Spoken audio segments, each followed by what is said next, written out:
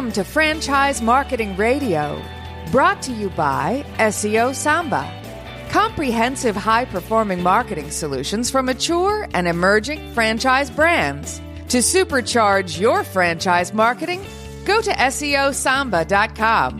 That's S E O S A M B A.com. Welcome to Franchise Marketing Radio. Stone Payton Lee Kantor here with you this morning. Lee, this is going to be a fantastic segment. Today's episode brought to you in part by the Business Radio X Studio Partner Program, equipping franchisors to help their franchisees dominate their local market. To learn more about serving your market and growing your business, go to mybrxstudio.com. On today's episode, we have with us the CEO with Bloomin' Blinds, Mr. Kelsey Stuart. Good morning, sir. Good morning, guys. Thanks for having me on. I appreciate it. Well, Kelsey, before we get too far into things, can you share a little bit about Bloomin' Blinds? How are you serving folks? You bet. So we are a full service blind company. Uh, by that, I mean we sell and install virtually every kind of window covering product that's out there. Uh, but we also offer a unique niche in the industry in the fact that we uh, have a full service repair ability as well, uh, and as a mobile service. So we are we're able to sell anything you're looking for, but then regardless of who put it in or how old it is, we can actually help fix them if they wear out or the dog eats it or somebody falls through it at a Christmas party. Now, how did the business start? Was it um, an individual location that grew and somebody said, hey, we should probably franchise this, or what's the history, the backstory? So, without trying to get too long in it, so uh, we're a family company. My mom started Bloomin' Blinds. Um, actually, there is an original version prior to that um, uh, in Seattle. We're now in Dallas. Um, but it was originally a family blind company without any grand ambitions, just trying to you know make a living like everyone else. And we recognized that uh, we we had a, a nose for technology, and so we could separate ourselves that way. And then we had this repair component that no one else offered in the Dallas market and we very quietly became one of the largest blind companies in Dallas.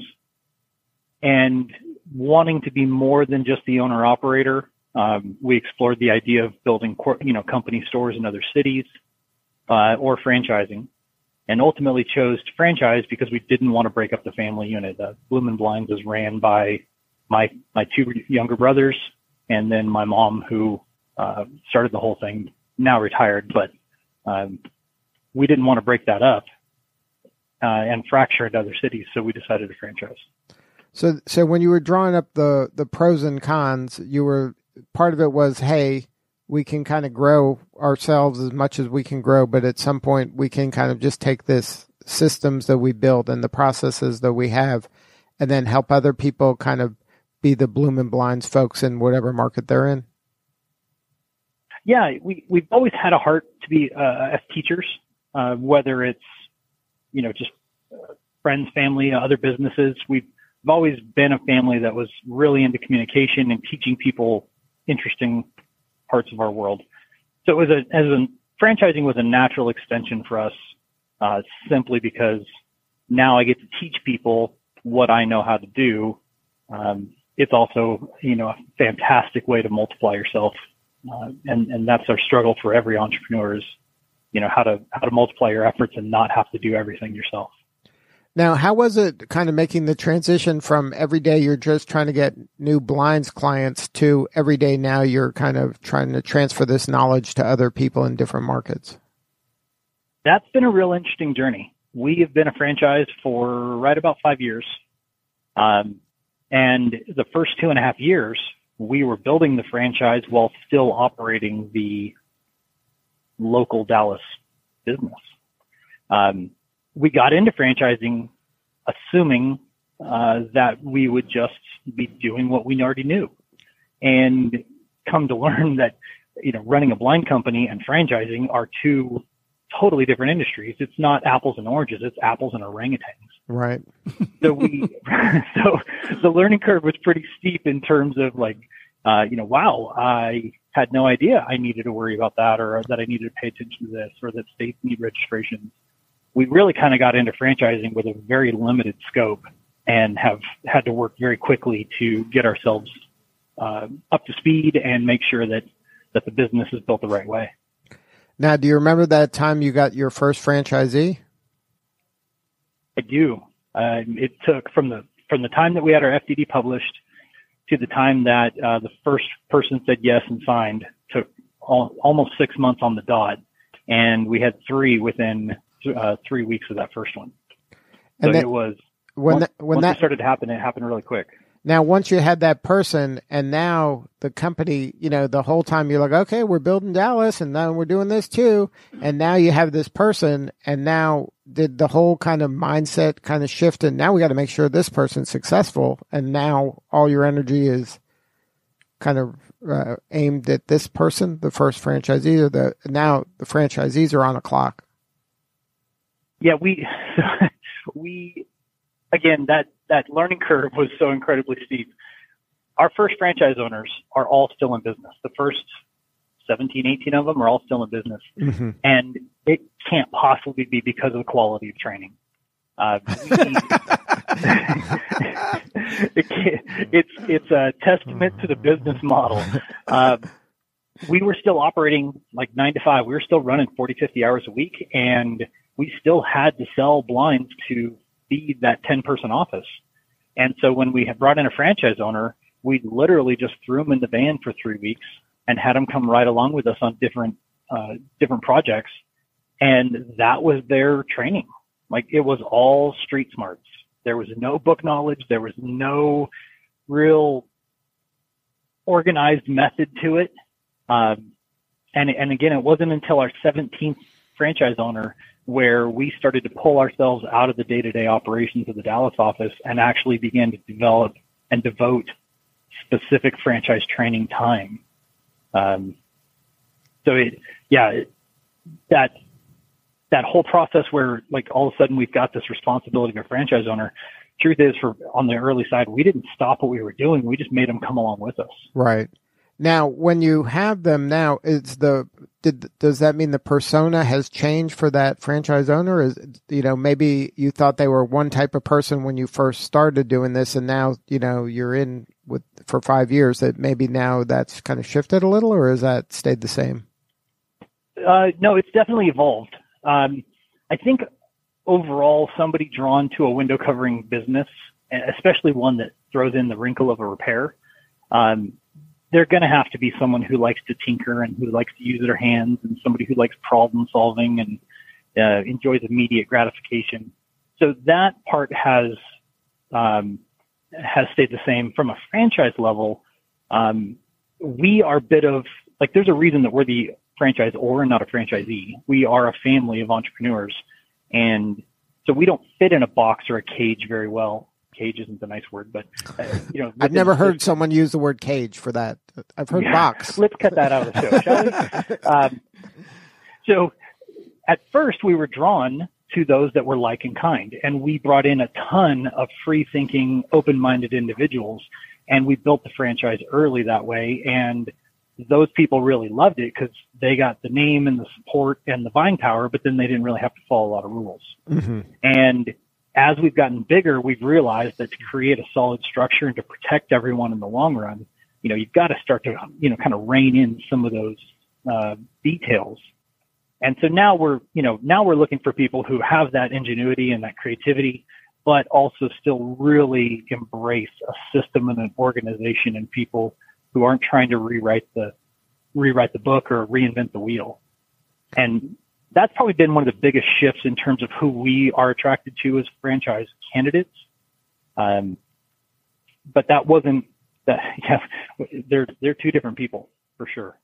Now, is a uh, person who runs a franchise is this? You mentioned that owner operator is important or tinkerer is important early on. Is it something that they can grow and um, kind of step out of and let other people run, or is it something where you need the franchisee to be actively involved? It can grow to that level. Um, it's not, this is a business that starts owner operator. Um, window coverings are way more technical than anyone would ever imagine on the surface. That's a universal comment we get from franchise owners as they get in here. Um, so we, we want an owner operator start. The volumes are strong, but they're not so strong that an owner operator can't handle it inside of a 40 hour work week. Mm-hmm. So you can still have a lifestyle and a really nice business, probably for the first two years.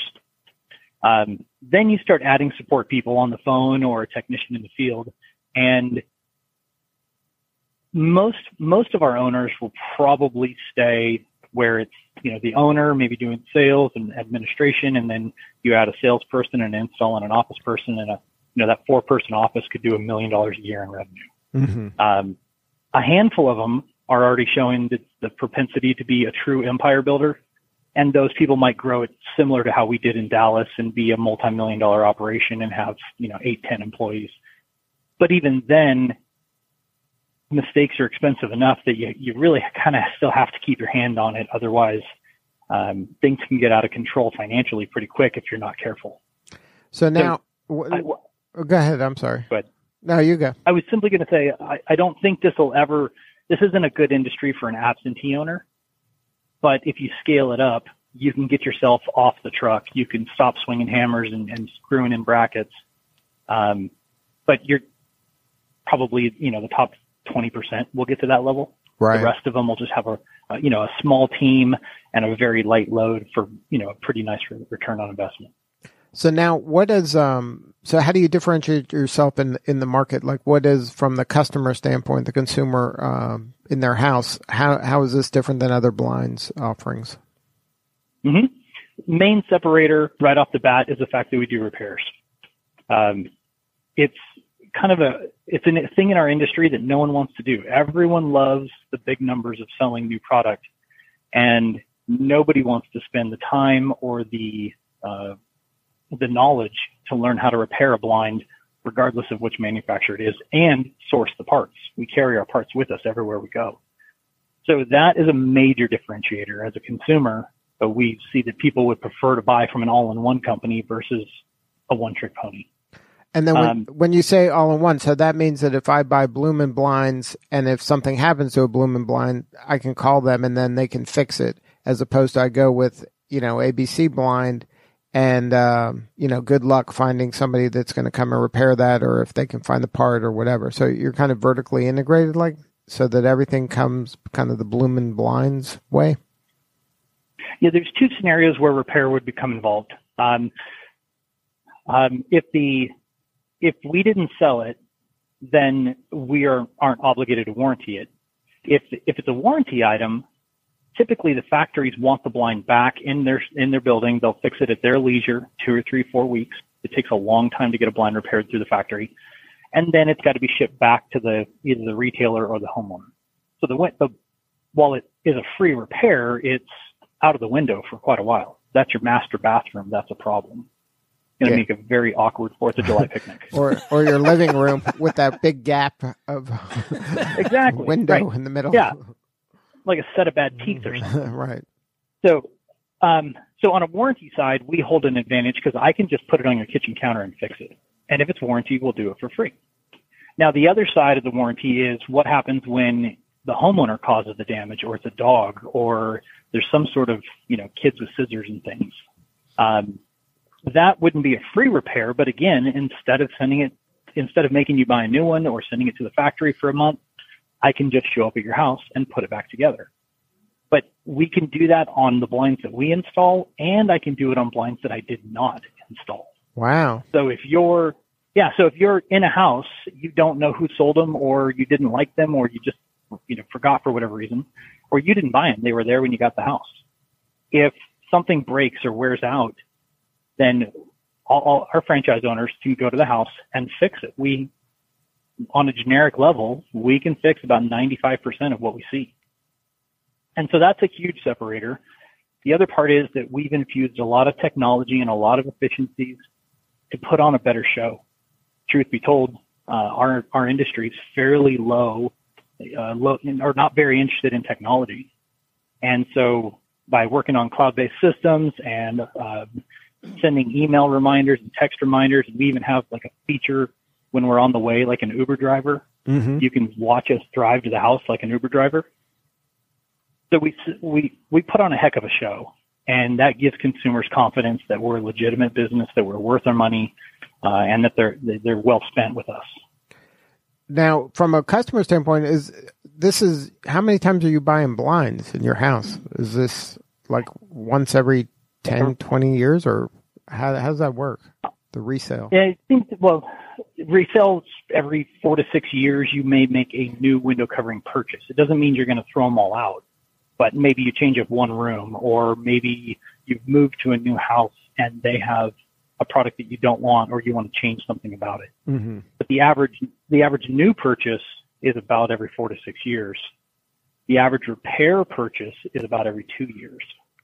Right. So something's So that happening. main- so that gives you kind of a point of entry in there to keep the relationship going. Uh, where Yep. most people aren't playing that game. They're they're kind of just waiting for you to get new ones. Correct. Yeah, and that's the entire. I mean, we are literally the anomaly in the industry. Ninety-nine out of hundred blind companies only sell new products. Wow. So that and did that happen? How did that? What was the origin of that? so I'll try and make this quick. When so used to live in Seattle. When uh, my brothers and I were in high school, my mom got an itch uh, for a new business as a serial entrepreneur. She bought a blind cleaning machine and um, thought she was going to rule the world by cleaning blinds. But every time somebody called her off her advertising, it was always to put blinds back together, to a string wore out or something was bent or broken. And she didn't really have any parts. She bought a cleaning machine. Right. And so she, so she started going to garage sales looking for blinds that people were getting rid of. And she would, uh, somehow she managed to find those, strip down the parts and she started using used parts to help put other people's stuff back together. Then eventually found a manufacturer who made blinds that would sell her individual pieces. And now she had a, a a ready supply of parts, fairly limited, but still at least had new parts to work with. And then as the repair and cleaning kind of took off, then the sales took off. But it, it was it wasn't by any sort of master plan. There was no business plan that had the word blind repair in there. Right. It was it was simply, hey, this sounds like a good idea. Let me do it in my garage. And then because she listened to the customers, they they told her what they wanted and she morphed the business to meet the customer demand. Wow, that's a great example of listening to the customer and then just adjusting to what their needs are, what they're telling you instead of what you necessarily had in mind originally. You bet. That's entirely what happened. And then has any of that thinking kind of been part of this transformation into a franchisor? Have you been listening to your franchisees? Have made any adjustments based on what they're learning with boots on the ground in different markets? Yeah, it's um, we we're still a small franchise. I mean, there's 45 active locations right now, and so one of our differentiators from a Jimmy John's or a Subway or uh, Anytime Fitness is that we're not some giant corporation that is full of you know 800 people in an office building. Um, we are intimately involved with our franchise owners, feedback constantly coming back and forth, and it's still very much like a family business where we're we're small enough that we are able to continue to maintain that culture. And so uh, those franchise owners are constantly seeing what the consumers want and they're bringing that feedback to us and we're either working with suppliers or software products or changing the vehicle wraps to make try and be more catching. But uh, we are very, very much from a franchisor level still, and we're not on the ground, but we're with them uh, there's no separation of communication there. If you're just joining us, you're listening to Franchise Marketing Radio. Stone Payton Lee Kantor here with you this morning, and we are visiting with the CEO of Bloomin' Blinds, Mr. Kelsey Stuart. Kelsey Stone here. Uh, a question about the marketing, maybe from a couple of different perspectives. One from the franchisor perspective. Have you found that there are some marketing vehicles, I don't know, uh, direct mail, email, pay per click, that are serving you better than others when it comes to getting the word out about your opportunity to potential franchisees? Are there some things that are working for you better than others in that regard? So I, probably more than anything, I can tell you what we've learned that doesn't work for us yet. okay. Um, so again, being a small company and bootstrapping this from our Dallas office and siphoning money out of that, you know, we didn't we didn't build this company with big pockets. And the one thing I have learned about franchising is that everything seems to have an extra zero.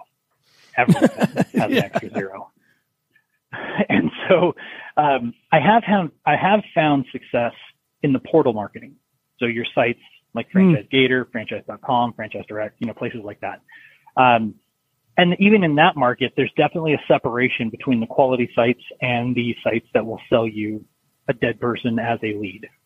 Um, so we've had to get good at that, and we've made real, real success out of that industry, which is generally the, the bottom feeder lead source for franchise marketing.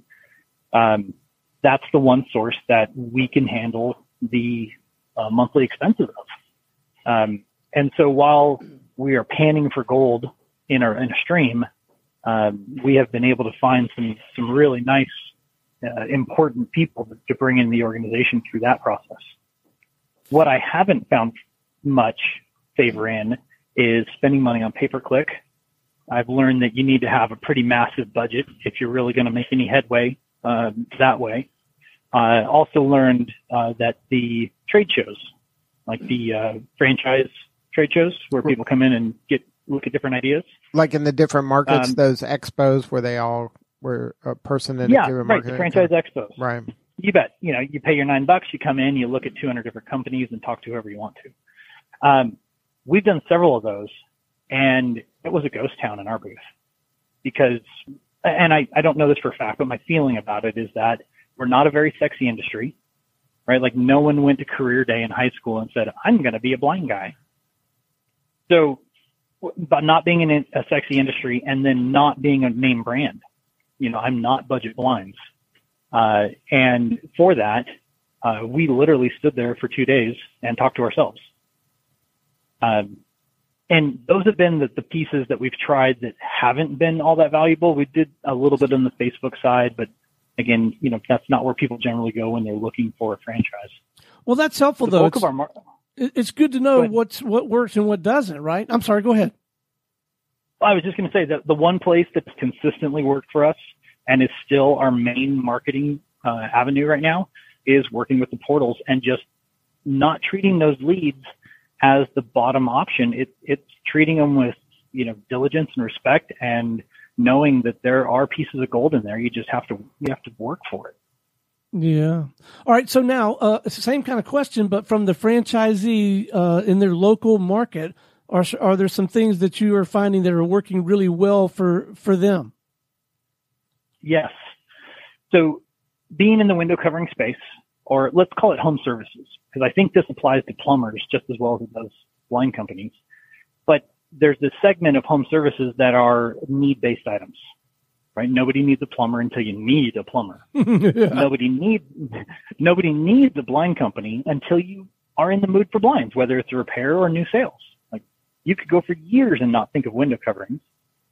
So knowing that we're need based and knowing how myself and everyone else around me searches, we've really worked hard to dominate the internet. When we launch a new location or where current locations are, uh, we're focused heavily on our own website and the SEO that goes into that, and then working through your paid lead generators like pay per click and Home Advisor, Yelp and Angie's List, and, and a handful of other places like that. Um, our average from the time that we launch a location and turn on the marketing, the average time for our phone to ring is less than 12 hours. Wow. And it's because it's because we've gotten really good at figuring out where our customers are and how they're searching. And the the three main buckets of this industry are either internet, referral, or repeat. And when you're a brand new location, you don't have referrals or repeats yet. So going to going to the internet and playing that game really, really well launches our guys really quickly. Um, online reviews are another source, really focusing on that. My industry is asleep at the wheel. No one's paying attention to online reviews. So uh, we've got software that texts a request, and within that text, if you click about three different times, you're already in our review page. Wow. So we've made it really easy for our customers to leave reviews for us. Um, and so it's helping us outrun the competition, even though we're brand new in a city. Uh, when you're looking at the reviews. So that's a competitive a- advantage for the franchisee when they come in and they know their phone's going to ring in 12 hours, uh, you know, from turning this thing on. That probably gives them a lot of confidence. hmm I, we just so we graduated a training class last Friday, um, and today we're Monday, and the owner in Fresno, California, has already had five appointments, uh, including the one that was at nine o'clock this morning. Wow. So that So it, they get up and get they get up and get going pretty quick if you know how to play the game. right, and then that's the beauty of you having you know been in the trenches in Dallas. You've kind of paved the way for them because what what works in Dallas probably works pretty well anywhere else. Primarily, you're right, and it's primarily because most of our franchise owners are in major suburban markets. So marketing in small town USA is a little different, and it's not as effective from the internet side, and the volumes are lower. But we're primarily focusing on putting them in major suburban environments, and people are people. You know, we all kind of you know work the same way for for the most part. Um, that's those are the, some of the same techniques we use to build that Dallas office into three million a year. And so we're taking what we know and then what we continually learn through the owners in place and just constantly refining it to make sure our blade is as sharp as possible. So now, um, are there certain parts of the country that you're targeting right now, or is it kind of a free for all anywhere in the U.S.? If somebody's interested, you'll um, have conversation with them. Uh, yeah, we're, we're looking to grow in all 50 states. Um, we're not looking for small markets. If you have 70,000 people around you, that's not enough. So we, our territories need to be two to two to three to 400,000 people. Mm-hmm. Um, so that's an important part. We're registered in 49 out of the 50 states. We're just not registered in Hawaii at the point at this point. Mm-hmm. And um, and so anyone on the mainland, uh, we are excited to talk to, as long as they live in a population that is actually going to give them an opportunity. Even if you have a desire and a checkbook full of money, if you're in a town of 70,000 people, we can't award you a franchise because we would just be taking your money and you're going to struggle and fail. Right. It's just not it's just not enough people because there's not window coverings is not whether it's a pair of sales they're just not purchased that often that a small community can make decent money. Right. In order for them to be successful, they need certain population. I mean, Right. that's just the way it is. And we yeah, we've decided that we didn't want to worry about the conscience the conscience crisis of a money grab. So we have avoided from the very beginning we've avoided those moments where like I don't think they're going to make it but they're willing to pay. So we Right. we have really tried to make sure that we don't have to worry about that in the long run. Well, if somebody wants to learn more about the franchise opportunity, is there a website? Yeah, Bloomin' Blinds franchise. It's like blooming, but there's no G on the end. Bloomin' Blinds franchise. That's the franchise site, and then the consumer site is just bloominblinds.com, which of course has a link to the franchise website. Good stuff. Well, Kelsey, thank you so much for sharing your story today. My pleasure, guys. I really appreciate you having me on. All right. This is Lee Kantor for Stone Pit, and we will see you all next time on Franchise Marketing Radio.